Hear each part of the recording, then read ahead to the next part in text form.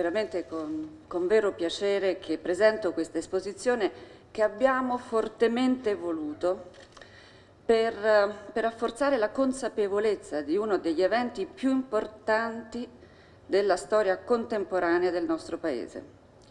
Un evento, quello della liberazione di Roma, che non rappresenta solo una svolta decisiva nella sanguinosa lotta contro il nazifascismo, ma che ha anche un grande significato nel processo di costruzione della democrazia italiana.